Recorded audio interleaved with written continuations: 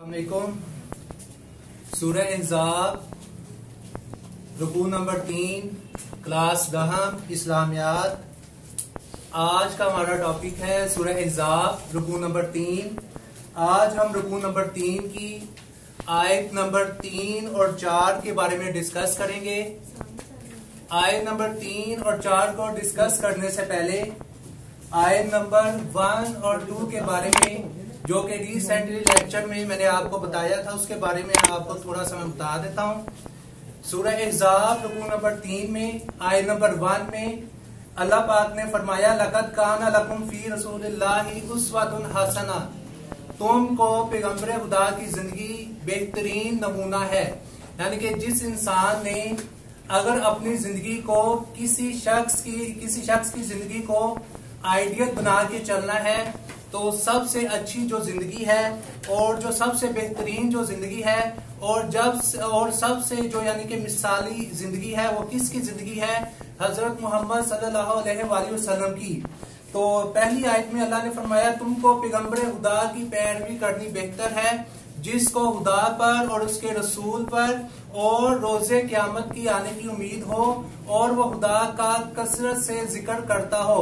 यानी कि एक ऐसा शख्स जो कि दुनिया में भी कामयाब होना चाहता है और आखिरत में भी कामयाब होना चाहता है तो उसको सबसे पहले ज़रूरी उसके लिए लाजिम है कि वो नबी पाक मोहम्मद सल्लल्लाहु अलैहि वसल्लम की ज़िंदगी को आइडियल बनाए, उसको मिसाली नमूना सामने रख कर फिर अपनी ज़िंदगी गुजारे। फिर आयत नंबर टू में अल्लाह ने फरमाया कि वलम्मा वलम्मा रामिनून अहजाब सूरह एहजाब यानी कि गजवा एहजाब में जब मुसलमानों का मुकाबला जो है वो कुफार के साथ हुआ तो जंग का जो स्केच है जंग, जंग का जो नक्शा है वो अल्लाह ने कुरान मजीद में इस तरीके से बयान किया कि जब लश्कर, मुसलमानों के लश्कर और काफरों के जो लश्कर हैं, वो आमने सामने हुए तो अल्लाह पाक ने मुसलमान, जंग में से जो मुसलमान थे, अहले ईमान जो थे उनकी, यानी कि कैफियत को अल्लाह ने कुरान मजीद में इस तरह बयान किया कि जब अहले ईमान ने या अहले मोमिन ने कुफार के लश्कर को देखा तो कहने लगे, ये वही लश्कर है जिसका खुदा और उसके रसूल ने हमसे वादा किया था। और साथ ही वो ये कहने लगे कि खुदा और उसके रसूल ने हमसे जो वादा किया था, उसे सच कर दिखाया। ठीक है, इससे, यानी कि कुफार के ज़्यादा लश्कर को देखकर कुफार की ज़्यादा तादाद को देखकर मुसलमानों के, यानी कि जो अहले ईमान थे, जो सच्चे मोमिन थे, उनका ईमान जो है वो कम होने की बजाय ज़्यादा हो गया और वो नबी की अतात और अल्लाह और इसके रसूल की अतात पर चलने लगे। ये थी पहली दो आयात। आज का हमारा टॉपिक है आय नंबर तीन और आय नंबर चार। सबसे पहले आय नंबर तीन। आय नंबर तीन के लफ्जी मायनी मीना से अलमुमिनीना मोमनों में से।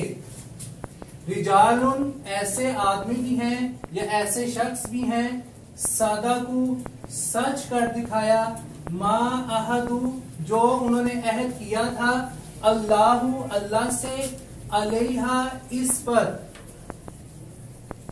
फमिन हूँ सो उनमें से मन जो कजा पूरा कर चुके हैं नह नज़र अपनी व मिन हूँ और उनमें से मन, जो इंतज़ार में है। वमा बदलू और नहीं तब्दील किया, तब्दीला कुछ भी तब्दीली। मिनल अलैहि। अल्लाह आय नंबर तीन में फरमाते हैं, कुरान मजीद में, सूरह एजाब में, रुकू नंबर तीन में, कि मोमनों में से कुछ ऐसे आदमी हैं, कुछ ऐसे लोग हैं कि जो कि उन्होंने वादा खुदा से माँ, अहदू अहदू का मीनिंग होता है अहद करना, वादा करना। जो वादा उन्होंने खुदा और इससे रसूल से किया था, उसे सच कर दिखाया। फिर साथ ही अल्लाह पाक ने इसी आयत में बयान किया है फमिन हुम मिन कजा नहबहु व मिन हुम मन यंताजिरु और उनमें से उनमें से कुछ ऐसे भी मौजूद हैं जो के इंतज़ार कर रहे हैं कि जो जिन्होंने अपनी जान का नहबहु का मीनिंग है, जिन्होंने अपनी जान का नजराना जो है वो पेश कर दिया। यानी कि कुफार के साथ जंग करते करते उन्होंने अपनी जान का नजराना पेश कर दिया। और फिर तीसरे नंबर पर अल्लाह ने बताया, वह मिन हूँ और कुछ ऐसे भी हैं यहाँ तीन किस्म के मुसलमानों के बारे में बताया। इसी एक आयत में, पहले तो मुसलमान ऐसे हैं कि जो उन्होंने खुदा से वादा किया था, उन्होंने सच कर दिखाया, यानी कि उन्होंने पीठ नहीं फेरी, बल्कि कुफार की ज़्यादा तादाद होने के बावजूद भी उन्होंने कुफार के साथ मुकाबला किया। और दूसरे मुसलमानों का ज़िक्र भी अल्लाह ने इसी आयत में किया, वो कैसे किया? फमिन मन कजा न बहू बाज ऐसे हैं जो अपनी नज़र से फारिग हो चुके हैं। यानी कि उन्होंने अपनी जान का जो नजराना है वो पेश कर दिया। वह मिन हूँ मन यन ताजिरू और उनमें से बाज ऐसे हैं जो कि इंतज़ार कर रहे हैं। वह माँ बदलू और नहीं तब्दील किया। तब्दीला कुछ भी तब्दीली। यानी कि इस आयत के एंड में अल्लाह ने बताया, कुछ ऐसे भी जो है जो अपनी जान का नजराना पेश करने के लिए तैयार हैं। और उन्होंने अपने वादे को, जो कि उन्होंने अल्लाह और उसके रसूल से गजवा एग्ज़ाम में एक रात पहले किया था। अपने वादे में उन्होंने जरा भी तब्दीली नहीं की। तो इसका बाब हमारा तर्जमा करेंगे। मिनल अहदु अल्लाहु अलैहि मन कजा नहबहु मन यंतजिरु बदलु तब्दीला। मुसलमानों में से मोमनों में से कुछ ऐसे हैं कि जो उन्होंने उदार इससे इसके रसूल से वादा किया था, उसे सच कर दिखाया। और उनमें से बाज ऐसे हैं कि जो कि अपनी नज़र से फारिग हो चुकी हैं, यानी कि उन्होंने अपनी जान का नजराना पेश किया, और बाज ऐसे हैं कि जो अभी इंतज़ार में हैं कि कब हमारी कुफार से जंग होगी, कब हमें शहादत का मुकाम या मरतबा मिलेगा, और उन्होंने अपना जो वादा है वो जरा भी चेंज नहीं किया, जरा भी तब्दील नहीं किया। आगे आय नंबर चार। जजा दे।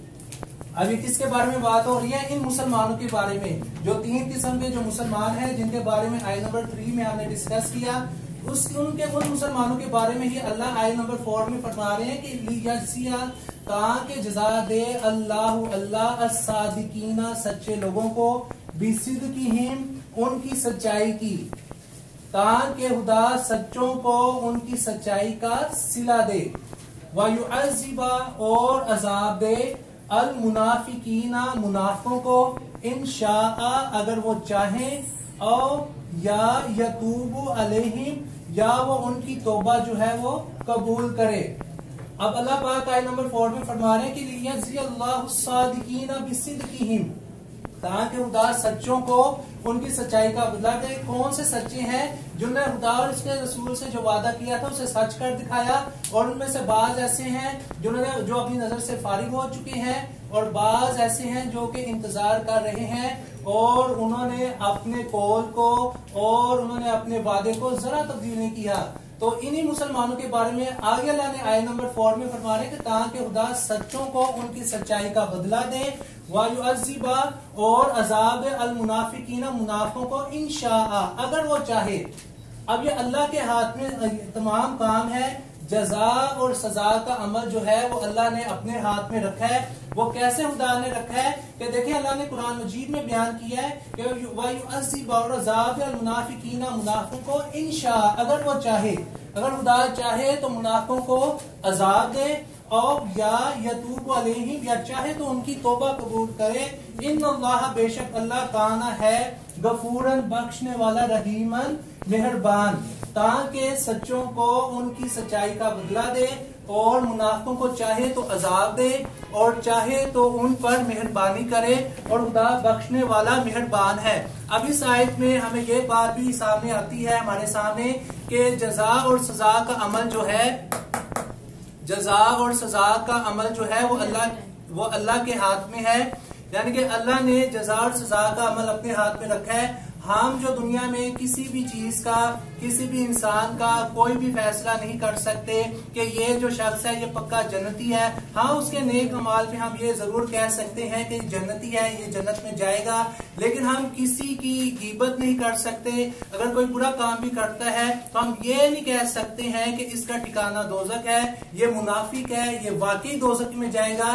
इस जजा और सजा का अमल जो है वो अल्लाह ने किस हा, किसके हाथ अपने हाथ में रखा है। तो हम किसी के बारे में कोई भी फैसला नहीं कर सकते क्योंकि ये खुदा की मर्ज़ी है। क्योंकि खुदा ने कुरान मजीद में कुरान मजीद की में सुरह एहजाब में रुकू नंबर तीन में आई नंबर चार में बाकायदा तौर पर बयान किया ताकि खुदा सच्चों को उनकी सच्चाई का बदला दे और काफरों को चाहे तो आज़ाद दे, और मुनाफों को चाहे तो आज़ाद दे, और चाहे तो इन पर मेहरबानी करे, और उदा बख्शने वाला और मेहरबान है। तो सूरह हिजाब रुकू नंबर तीन, आय नंबर थ्री और फोर आज हमने आय नंबर तीन में मुसलमानों का जो वादा था, जो उन्होंने मुसलमानों ने किससे किया था? अल्लाह से। सूरह गजवा के मौका पर अल्लाह और इसके रसूल से एक वादा किया था। वो वादा क्या था कि वो पीठ नहीं फेरेंगे? तो मुसलमानों ने गजवा के मौका पर जंग के मौका पर अपना किया हुआ जो वादा है वो पूरा करके दिखाया और बाद मुसलमान ऐसे थे जिन्होंने अपनी जान का नजराना पेश कर दिया और बाद मुसलमान ऐसे थे जो कि इंतज़ार में थे और उन्होंने अपने वादे को और अपने कौल को जरा भी तब्दील नहीं किया। फिर आई नंबर फोर में हमने इन मुसलमानों के बारे में, जो कि इनाम का ज़िक्र अल्लाह ने कुरान मजीद में बयान किया, उसके बारे में पढ़ा कि खुदा चाहे ताकि खुदा जजा दे। जजा का मीनिंग होता है इनाम दे।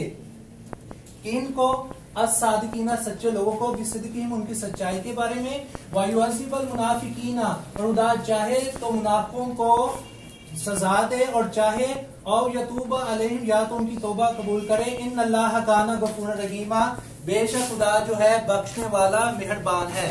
तो सूरह हिसाब रुकू नंबर तीन, आयत नंबर तीन और चार, इसके अल्फाज मायनी और तर्जमे की आप प्रैक्टिस भी करें और इसे याद भी करें। शुक्रिया।